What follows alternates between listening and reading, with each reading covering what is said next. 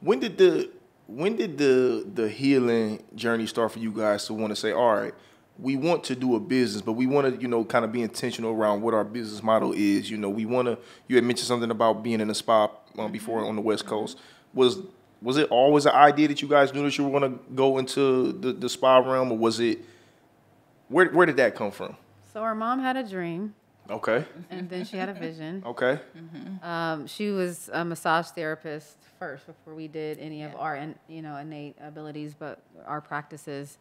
Um, So I mean, grow- that's growing up, that was her profession. She was a massage no, therapist. nope. She um, She was a receptionist. she was a receptionist Oh, for wow. years, and Okay. thank God because she didn't drive. So we, we she wanted us to always have access to her, and as a receptionist, we were able to because being a single mom, you need to know where your kids are. Right. So it worked out for Right. her.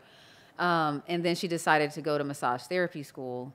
That was a brave Um, choice. And it was yeah. a br- yeah brave choice. Um, also during massage school for her, she was caretaking for her sick and dying dad, um, and then uh, Granny at the time had a brain tumor, and so she was caring for both of them through massage, and so she just knew it was her calling to be a massage therapist.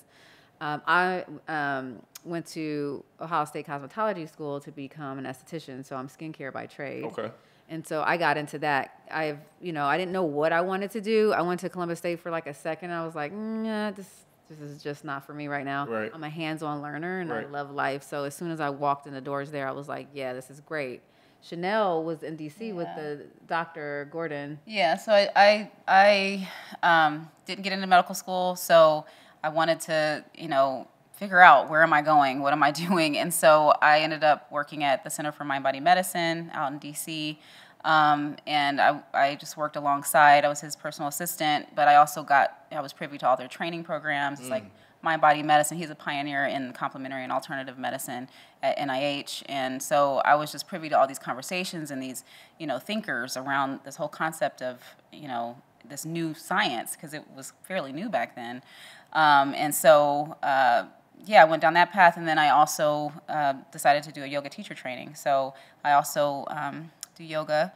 Um, Yeah, so, so we knew we were gonna back. yeah. Mom had the dream years before this even happened. She just saw it through. Like she was like, it's gonna be in a house. Like she just knew.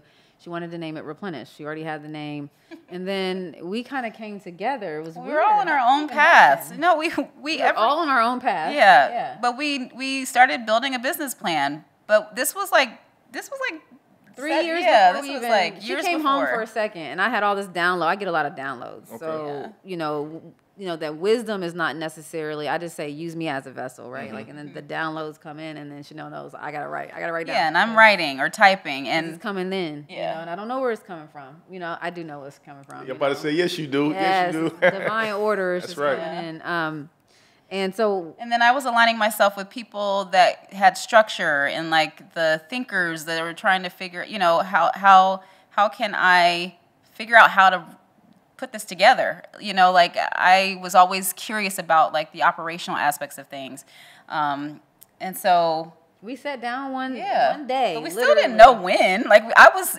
in DC, Yeah. and then I moved to to I think we LA. was home for like a weekend. Yeah. We literally took like the whole day and then just knocked out the business plan together. Yeah. I mean, the first thing that we created was a um, was a quote we created Yeah. together.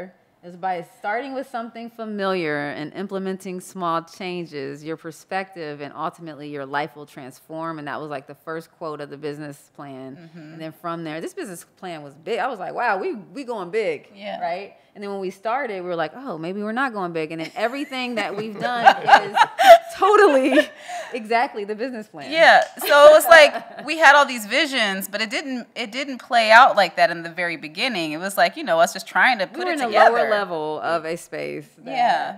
Started from the bottom. Now I'm here. That's the Yeah. whole thing, and that's where we started. Literally. Yeah, we started in a lower level. Yeah. Um, but we still refer back to those ideas. Like they just took time to manifest, Mm-hmm. but it's still very much a part of our what we came up with way back then. Yeah. It's beautiful when you look Yeah. back at it. That, that's beautiful. Yeah. I mean,